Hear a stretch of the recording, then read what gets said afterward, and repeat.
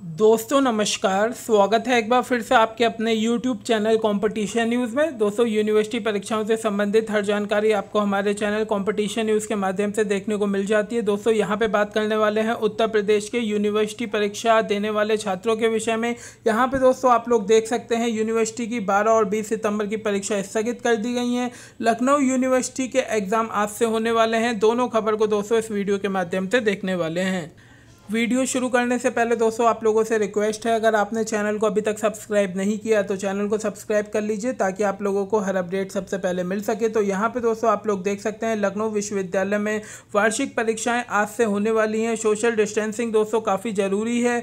Corona virus को देखते हुए दोस्तों सोशल डिस्टेंसिंग अनिवार्य कर दिया गया है। कुलपति ने बैठक कर सभी प्राचार्यों को निर्देश दे दिए हैं। परीक्षार्थियों को सोशल डिस्टेंसिंग का पालन करना होगा। करीब तीन हज़ार छात्र छात्राएँ परीक्षा देंगे। और दोस्तों, आप लोगों को भी ध्यान रखना है कि हर जो परीक्षार्थी है, उसे मास्क पहनना अनिवार्य होगा। यदि कोई भी परीक्षार्थी बिना मास्क के आता है तो परीक्षार्थियों को तुरंत मास्क दोस्तों उपलब्ध कराया जा सकेगा। लेकिन दोस्तों, आप लोगों को हिदायत दी जाती है कि आप लोग खुद का मास्क जो है दोस्तों, घर से पहन के ज़रूर जाएँ। तो चलिए दोस्तों, अगली खबर देख लेते हैं। और अगली खबर दोस्तों निकल करके सामने आ रही है रोहिलखंड विश्वविद्यालय की, जहाँ पे 12 और 20 सितंबर तक की जो 12 से और 20 सितंबर, यहाँ पे आप लोग देख सकते हैं 12 से 20 नहीं है 12 और 20 सितंबर की जो परीक्षाएँ हैं, वो स्थगित कर दी गई है। और दोस्तों इसका कारण यह है कि 12 तारीख को पॉलीटेक्निक एंट्रेंस का एग्ज़ाम है और बीस सितंबर को दोस्तों समीक्षा अधिकारी का एग्ज़ाम है। तो हो सकता है आप दोस्तों जिस भी यूनिवर्सिटी में हो, आप लोगों के भी जो पेपर हैं दोस्तों बारह और बीस सितंबर के, उसे यहाँ पर पोस्टपोन कर दिया जाए, यानी कि स्थगित कर दिया जाए।